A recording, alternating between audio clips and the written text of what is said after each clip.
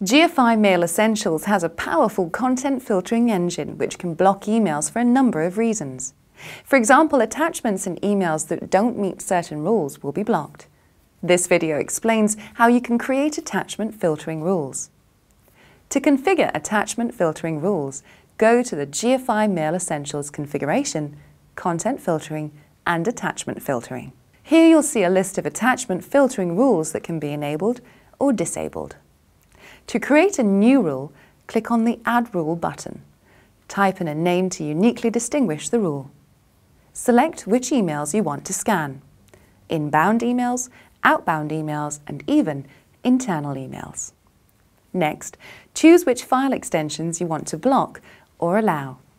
As an added security measure, you can configure the content filtering engine to check the file signature and not just the file extension. Select what actions you would want for this rule. You can define what happens to the email. It's either delete immediately or sent to quarantine. Also, you can decide who is notified when an email is blocked or quarantined. You can also choose which users or groups this rule applies to, using an inclusion or exclusion list. Click on the Apply button to save the rule. Once added, select the rule and click on Enable Selected. A number of attachment filtering rules are available by default, and these block potentially malicious attachments, images, videos, and audio attachments. All you have to do is enable the filters you want to use, and you're all set to go.